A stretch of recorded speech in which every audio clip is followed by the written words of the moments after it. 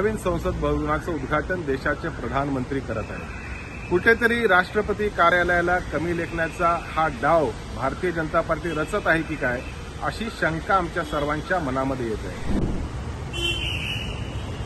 नवीन संसद भवनाचं उद्घाटन देशाच्या राष्ट्रपती महोदया यांच्या हस्ते झालं पाहिजे अशी भूमिका राष्ट्रवादी काँग्रेस पक्षाचे राष्ट्रीय अध्यक्ष शरदचंद्र पवार साहेब आणि सर्व खासदारांची आहे. तसंच त्याचप्रमाणे सर्व विरोधी पक्षांच्या नेत्यांची देखील आहे.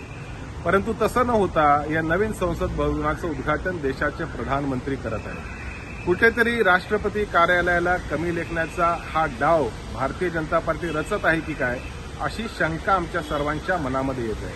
आणि त्यामुळेच राष्ट्रवादी काँग्रेस पार्टीसह सर्व विरोधी पक्ष या उद्घाटन कार्यक्रमाला बहिष्कार टाकणार आहेत. राष्ट्रवादी काँग्रेस पक्षाचा एकही खासदार नवीन संसद भवनाच्या उद्घाटन प्रसंगी उपस्थित राहणार नाही.